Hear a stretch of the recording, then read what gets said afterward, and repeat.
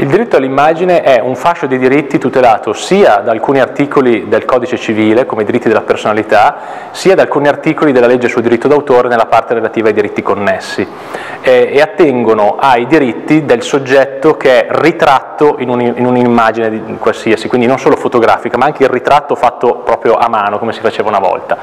Eh, questo soggetto, in quanto riconoscibile nell'immagine, ha un diritto su questa immagine e questo diritto può essere poi, secondo appunto gli articoli della legge sul diritto d'autore che trattano questo diritto connesso, anche essere ceduto in cambio di una remunerazione, quindi ci sono dei soggetti che proprio di lavoro fanno eh, questo tipo di cessione, pensiamo ai fotomodelli, le fotomodelle, in generale i testimonial della, della pubblicità, soggetti il cui viso è molto riconoscibile al pubblico e che quindi cedono questo diritto per, eh, per fare pubblicità in cambio di una remunerazione.